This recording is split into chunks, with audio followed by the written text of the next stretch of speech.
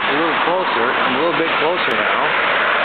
Peregrine Falcon sitting there. This is one called the Fugitive Peregrine Falcon. Monday, February 22nd, 743.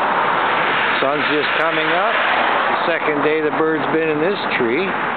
Yesterday she had a full crop. It's kind of hanging out here. I'm almost right underneath the bird. I'd say about 60 feet away.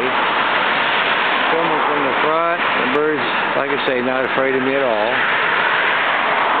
Across from Conoco Phillips. That's where they store all their gasoline. The trucks roll in and out. The bird's not afraid at all.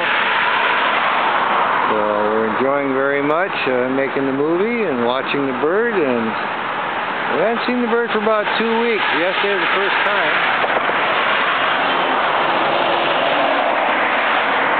Certainly likes this tree. And uh,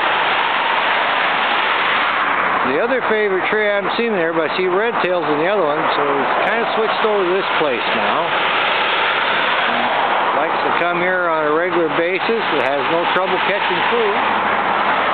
So we're happy about that. It gives us a chance to see our little peregrine falcon. And uh, blue sky today, very cold. About 34 degrees. I'm standing here trying to stay warm.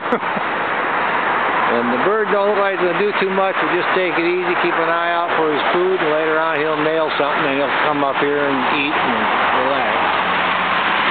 So I think we'll, we'll probably call that good. It doesn't look like he's going to be doing too much. He's looking to the left and the right, hunting, and like I said earlier, he flew away and he came back, so we'll call that good. Over and out.